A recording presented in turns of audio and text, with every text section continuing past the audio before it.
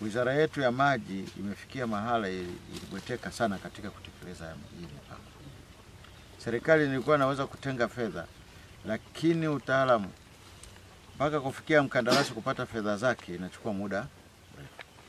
Sasa wananchi wanaona kama tunawadanganya, sababu na sisi tuliahidi kwamba wananchi wetu tukishachaguliwa kushika nchi hii, tukiunda serikali, tutawahudumia kupata maji ndani ya mita mia nne.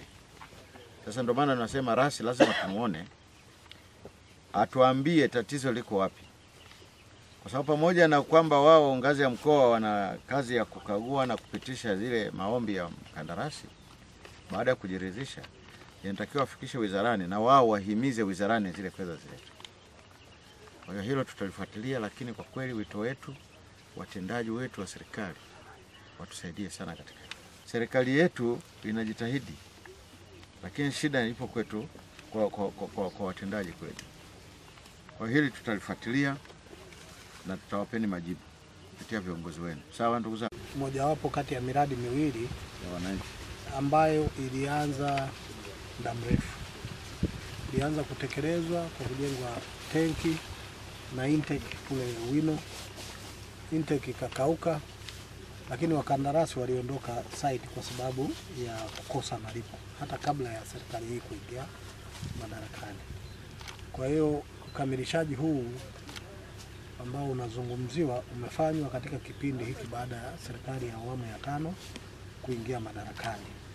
Kwa hiyo kuna mradi huu na mradi wa Ilondo ambao utakwenda kuona na wenyewe, ni miongoni mwa miradi ambayo wananchi wameipigia kelele sana.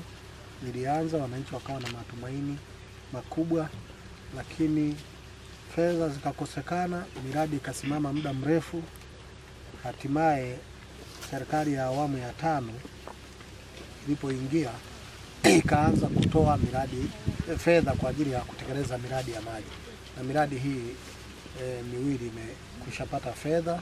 Mkandarasi huyu amekwisha lipwa kwa kiwango cha kukamilisha mradi ili aweze kusubiri malipo ya mwisho wakati wananchi wanatumia maji.